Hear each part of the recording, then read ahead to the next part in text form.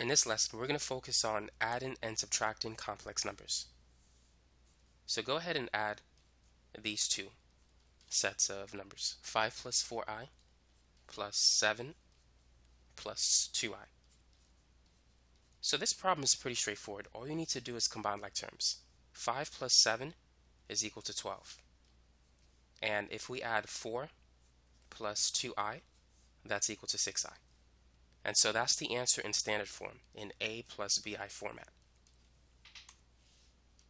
Try this one.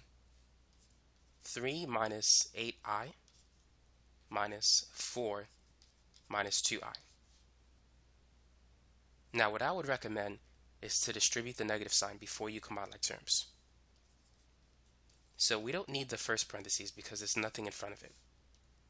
Now we need to distribute the negative sign, so positive 4 will now be negative 4, negative 2i will change to positive 2i. Now let's combine like terms. So 3 minus 4 is negative 1. And negative 8i plus 2i is negative 6i. And so this is the answer. Try this one. 4 times 2 plus 3i minus 5 times 6 minus 3i the first thing we need to do is distribute.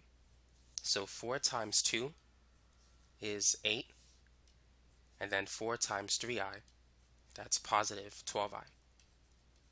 Now let's distribute to negative 5. Negative 5 times 6 is negative 30, and negative 5 times negative 3i, that's equal to positive 15i. So now let's go ahead and combine like terms. So 8 minus 30 is negative 22 and 12i plus 15i, that's 27i. And so this is the answer, negative 22 plus 27i.